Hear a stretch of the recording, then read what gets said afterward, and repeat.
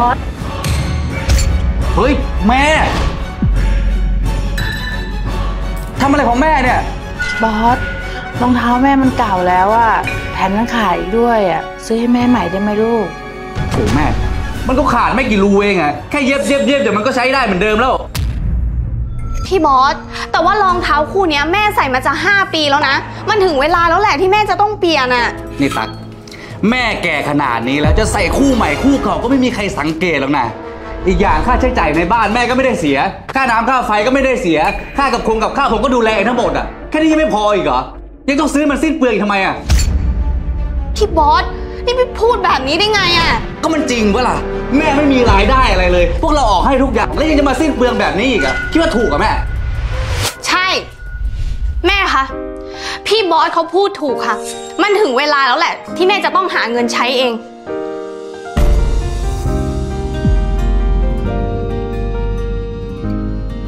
โอ้โห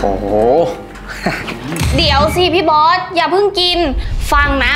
ต่อไปเนี้ยแม่เป็นแม่ครัวประจำบ้านเรา เพราะงั้นทุกครั้งเวลาที่แม่ทำกับข้าวหรือล้างถ้วยล้างจานเนี่ย เราต้องจ่ายเงินให้แม่ตลอด อะไรนะ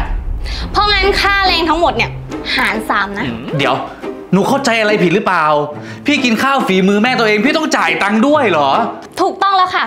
ก็พี่หาว่าแม่พี่เนี่ยไม่ทำงานไม่ใช่เหรอ นี่ไง ตอนนี้แม่กำลังขายแรงอยู่ หนูคิดว่าแม่เนี่ยเป็นแรงงานคนหนึ่งเลยนะ เดี๋ยวจะมีคนหาว่าแม่เนี่ยอยู่ฟรีกินฟรีซะอีก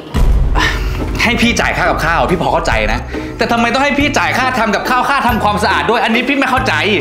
ถ้าพี่ไม่โอเคหรือว่าพี่จะไม่จ่ายเนี่ย งั้นพี่ก็ไปทำกับข้าวกินเองหรือไม่ก็ไปล้างเองสิคะนี่ตัก งั้นหนูขอคิดก่อนเลยแล้วกันนะ อืม ค่าลาบเนี่ยหนึ่งร้อยค่ายำหนึ่งร้อยค่าต้มแซ่บหนึ่งร้อยค่าหมูย่างหนึ่งร้อยแล้วก็ค่าน้ำตกคอหมูย่างอีก 100 รวมกันเป็น 500 หาร 3 ก็เท่ากับคนละ 166 บาท งั้นคิดพี่ 170 ก็แล้วกันเนาะอ๋อแล้วก็ยังมีพวกค่าล้างจานเก็บกวาดอะไรต่างๆ อีกเหมาเมาๆเลย 100 รวมเป็นของพี่ก็ 270 แล้วกัน อะไรวะเนี่ยตักแม่ นี่ของหนูค่ะ หนูกินก่อนละกันนะอืมโอ้มอร่อยจังเลยอะอื้อหือพี่ไม่กินเหรอ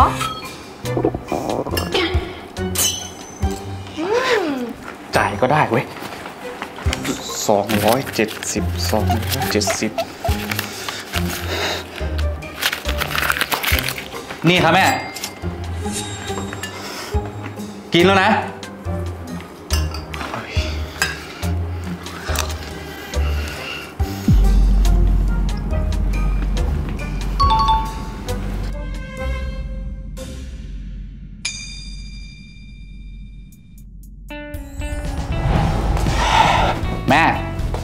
เสื้อผ้าให้หน่อยสิ เดี๋ยวพี่บอส จะให้แม่ซักเสื้อให้เนี่ย จ่ายตังค์แม่อะไหนดูสิ เสื้อตัวนี้ 100 กางเกงก็ 100 ละกัน เสื้อยืด 100 เสื้อเชิ้ตก็ 100อะเสื้อยืดอีกตัวหนึ่ง100 ทั้งหมดเป็น 500 บาท อะไรกันอะ พี่ใช้แม่ซักผ้าแค่นี้ต้องจ่าย 500 เลยเหรอ ทำไมอะ ถ้าพี่รู้สึกว่ามันไม่คุ้มอะ พี่ก็เอาไปส่งซักสิ หรือไม่ก็อะเอาไปซักเอง ก็ได้ จ่ายก็ได้วะ คนยิ่งรีบๆอยู่500นะ อืมอืมแม่อืม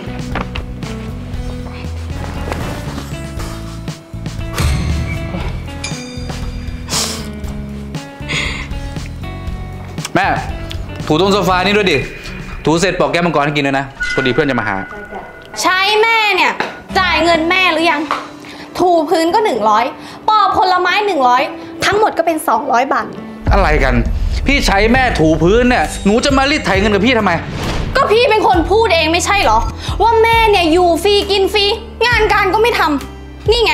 แม่ก็กำลังทำงานหาเงินด้วยแรงของตัวเอง มันก็ถูกแล้วนี่ หรือว่าพี่คิดว่างานที่แม่ทำเนี่ย มันเป็นงานสบายๆอย่างนั้นเหรอ นี่ถ้าพี่ต้องจ้างแม่บ้านอะงานแบบเนี้ยเดือนหนึ่งอะไม่ต่ำกว่าหมื่นแปดแน่ๆแถมแม่เนี่ยยังทำให้เราทั้งปีแบบไม่มีวันหยุด ไม่มีลากิจ ไม่มีลาป่วย ลูกก็ดูให้ งานบ้านก็ทำให้ เนี่ยแม่ทำไม่ถึงขนาดนี้แล้วอะพี่จะจ่ายให้แม่ยังไงเหรอ คือพี่พี่บอส พี่เอาแต่คิดว่าแม่เนี่ยอยู่ฟรีกินฟรี แล้วพี่คิดบ้างไหม ว่าถ้าไม่มีแม่คอยช่วยอยู่ดูแลบ้านให้เราเนี่ย เราจะออกไปทำงานหาเงินได้อย่างสบายใจไหม แม่เลี้ยงพี่มาจนโตไม่พอ ยังต้องมาช่วยพี่เลี้ยงดูลูกอีก พี่คิดว่าแม่เนี่ยไม่มีรายได้ แม่ก็เลยมาก่อพี่ แล้วพี่คิดบ้างไหม